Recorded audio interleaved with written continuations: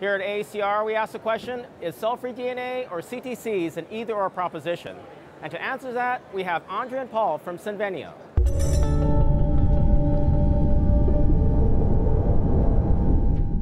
Andre, what can you say about that question? Is it either or? It's both. I think it's actually cell-free and CTCs, and I think it's also germline, and I think it's whatever else is going to come along in the future.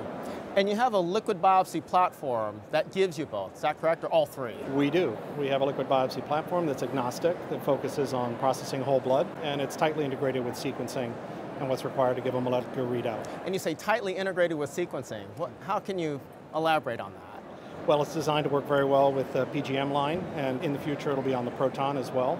And we think it'll support the digital PCR solutions from Thermo. That's great. And Paul, what can you add to that? The whole uh, approach to looking at both CTC and cell-free uh, demands a, a, specific workflow that understands the fact that these are very rare templates. Sure. And what we've built here in uh, working with the platforms from Thermo Fisher is a start to end solution that allows deep experimental understanding of um, blood samples and the tumor content in them. So for example, for CTCs, what level of enrichment are you able to achieve? We can enrich a sample to the point where uh, one, effectively one cell per mil of blood processed will be compatible with the AmpliSeq library readout. One cell? One cell. So in a sort of a seven mil sample, you can get seven cells? So we can detect between three and 10 cells, and that, demand, that requires that we use um, the AmpliSeq protocol, our liquid biopsy platform, and that we also do a case control sequencing so that we understand the background and the noise that is specific to each individual experimental sample.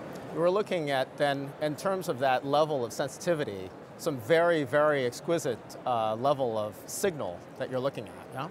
Yes, but that's what we've learned is relevant to biological process and research uh, samples, and that applies both to the cell-free compartment as well as the CTC compartment. Both are rare events, both need great sensitivity, and I think this workflow supports um, uh, examination of both content.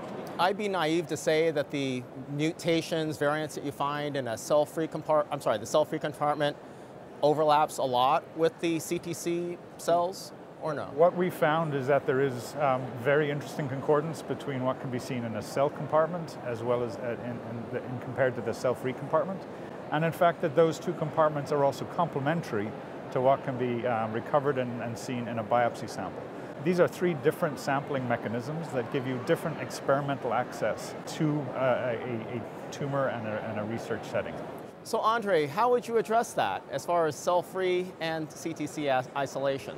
Well, Dale, we're very excited about a, uh, a research study that's uh, completing in the not too distant future. We're comparing uh, 60 sets of cell-free DNA and CTCs, the FFP samples, and I think it's going to produce a very solid body of data uh, that we're, gonna, we're eager to present and to share with you.